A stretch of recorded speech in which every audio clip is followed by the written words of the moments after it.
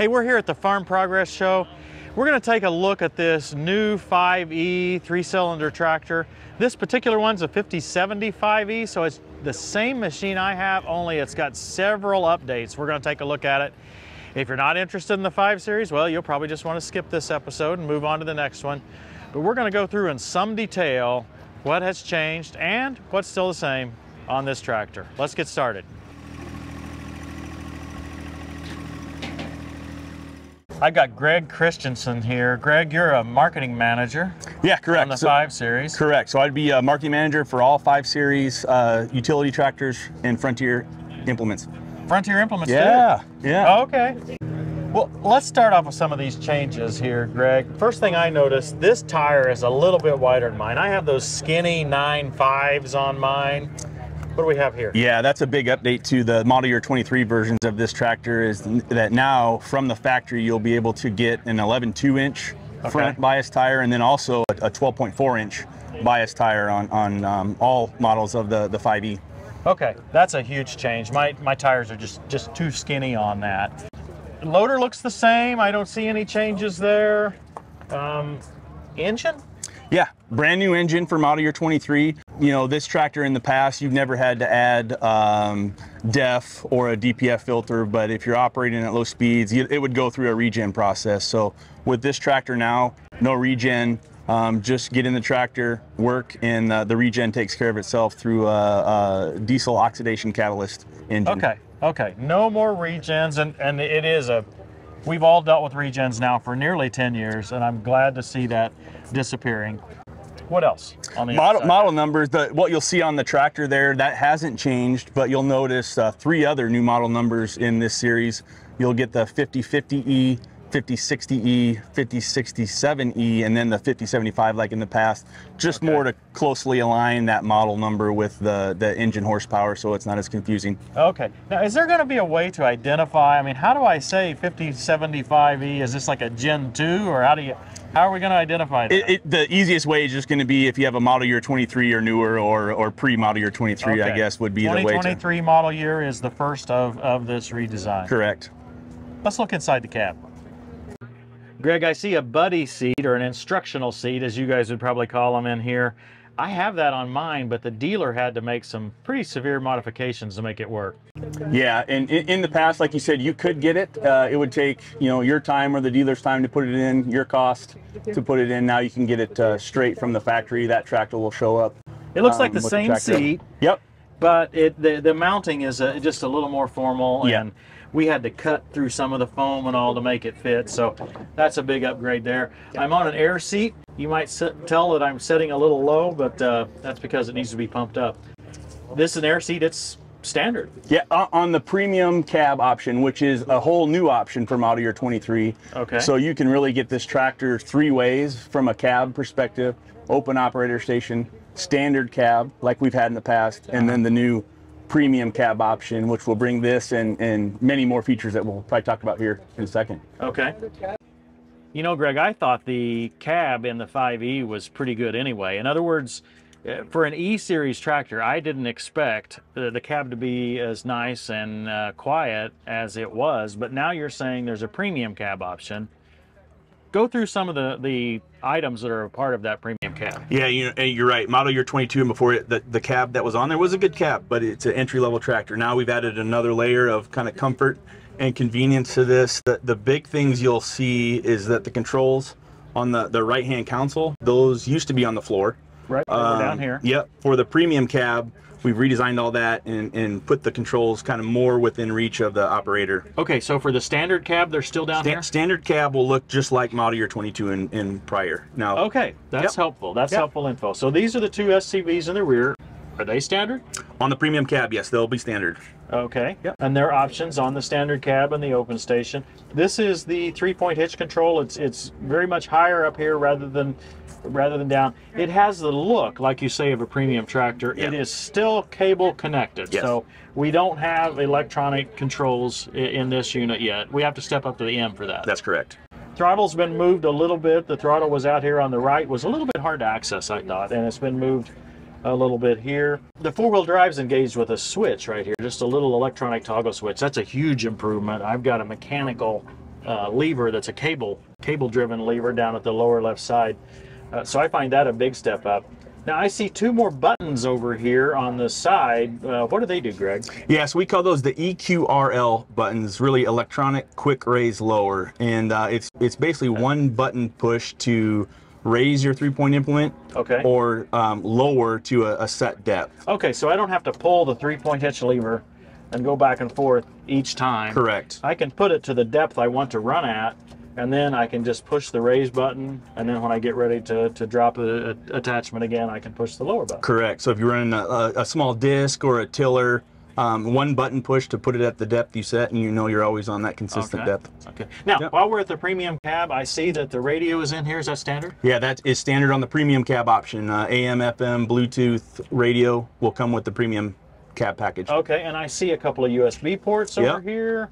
Um, I see that the wipers are. Yeah, rear wiper will also come in uh, the premium cab package along with sunroof Oh yeah. in, that in the premium bright. cab. You know, moving small round bales or square, square bales around with the loader, raising them up, stacking them, see right through and, and, and see where you're putting them. Yeah, the sunroof is not so that you can get a tan. It's Yeah. so that you can use that loader when it's high. This is one thing that a cab tractor has issues with. When you raise these loaders all the way up, you just can't bend over enough to see what you're doing at, at the top. But at the same time, it does get kind of bright, and there's a nice, a nice shade there, and then it. I don't know. I don't think I'm going to be running with the window open. We've got air conditioning in here. I That's don't want to let the dust in, but but you can if you want to. Uh, air conditioner controls appear much the same, maybe moved a little bit. The the dash appears identical Yeah. uh, to the 22 and earlier, uh, which is not a bad thing. In this machine, we still have the 12-speed. Uh, what do you call it? Uh, pow- sh- it's a power reverser transmission Power reverser, that yeah, also a has a ha- also has a left-hand reverser. So people kind of confuse that uh, power reverser means you can go forward and backward without clutching. Yeah. Um, but that's the left-hand reverser that allows you to do that. Uh, Okay. Great for you know loader loader work. Uh, you know, put But that's forward. the only one we have here. We don't have anything on the right. I think the larger tractors have the right as well as the left. Correct. It- you can get this tractor in a in a Sync Shuttle 9.3 transmission on some of the lower models, but uh, most popular by far is, is the the 12-speed power reverser transmission. Now, if you want a, uh more advanced transmission, we're going to have to step up, not just to the M series, but we're going to have to go to at least uh, 95 or 100 horses in the M, I believe. Yeah, well, the, the M comes in 75 horsepower, so you could get a 75 horsepower tractor in an M. Um, But I don't believe you can get the uh, more advanced transmission until you get to the 95. that's 90 90 horsepower now. Um, is you can start picking up the Power Quad Plus transmission and the Power 8. Basically, they're the same transmission. One has 16 speeds, one has 32 speeds. The Power 8 has 32, and then uh, the Power 8 also gets you um, kind of an eco mode when you're going down the road in those top two gears. Um, it'll throttle back the transmission for some, you know, fuel savings going down the road. So let's be clear on that. That's not available in the E series, nor is it available in the 75M. You have to get up to the 90M Yeah, to, to be able to to get those more advanced transmissions. correct. I see this machine's got two rear SCVs. Greg, is that standard now? On the premium cab uh, version of this, that th- these will come standard. Then you can option them in on on some of the other versions of the, the E as well. Now they've been moved a little bit from uh, the the 22 and earlier models. Uh, these hard lines, I had some trouble with leakage where they connect down in here. The way these are routed, they're going to be much much easier, I believe, to keep from leaking. So I, I see this as a nice improvement. I also noticed that the the stabilizers here uh, look more beefy on the the lift links down here at the sides. They're they've been redesigned a little bit and they just look a lot more beefy. Other than that, I don't see much change on the rear hitch mechanism. Greg, I see a couple of differences here. Now my, my single point connector was dealer installed and the, the bracket that they had put it right out here. So much so that the handle actually touches this door. Um, by the way, right hand door. Yeah, that's one thing we forgot to talk about with the premium cab. Um, right hand door standard on the premium cab Okay. option. Yep. Okay. The right hand door is just like mine. It's an option on the standard cab and older and older machines, but but uh, uh, standard on the premium. Yeah. The single point connector here, though, they've they've I'm going to say it. They've bent the bracket here. It looks a little awkward. But I think it's going to be a lot easier to deal with. The handle's going to pull right up here. It's it's it's free. It's easy. Um, there's what eight inches of separation here. I don't think that's going to cause a problem. This is not real weak connectors here and everything anyway, so I don't think that'll be a problem. There's one other difference here. There's two extra hoses. Yeah, and that's uh, another big thing for model year 23 that you'll be able to order a, a true third function mid valve with with the 5e. And you know, before it was a kind of a diverter valve that you probably Yep. have installed on Yep. yours. This That's is a all I have is a Yep. diverter, and so I have four hoses and one electric line yep. um, going in here. So Yeah, so you'll be able to order that now from the factory with a, a true third function, um, but then also still get a, a, a dual mid SCV. And then if you're just pulling wagons and, and don't need all this stuff, you can order this tractor less mid SCVs as well. Okay. Is there any difference on the loader? Yeah, no no difference on the on the loader for 23.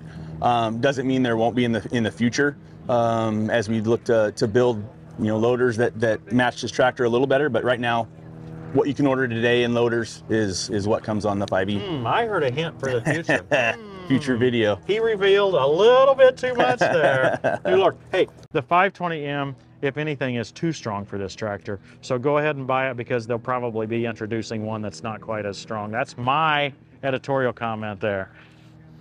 Just want to summarize here a little bit. The biggest changes, a new engine that doesn't have regen, premium cab option uh, that includes a lot of features standard really in that premium cab option.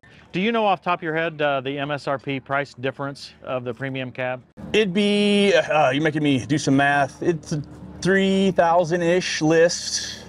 So yeah, a lot of lot of value there, I think, for what what is really added. Yeah, yeah. I, I, we we added all the options for ours, and they were more than three thousand when we had the dealer install the instructional seat, the extra SCV, the premium radio system, the the uh, air seat. Oh, it's yeah, Yeah. And LED lights. We didn't. Yeah, mention we, we LED forgot lights. LED lights, uh, standard on uh, the premium cab option, both up on the cab and in the front, and then you can get it on the other options as well. Get some LED lights for some better visibility if you're out working past when the sun goes down. A lot of similarities to the tractor that we have, um, but the changes make sense, right? This is a nice improvement. Great job, Greg. Yeah, thanks. Good talking to you. Thank you guys for watching. We'll see you next time on Tractor Time with Tim. You were taught, with regard to your former way of life, to put off your old self, which is being corrupted by its deceitful desires, to be made new in the attitude of your minds, and to put on the new self, created to be like God in true righteousness and holiness. His name is Cole. He's wearing a Millennial Farmer shirt, but he stopped by to visit anyway. I, I think he's Cole the Corn Cob or Cole the Corn something, right? Yeah. Thanks for watching. Yeah. Lot.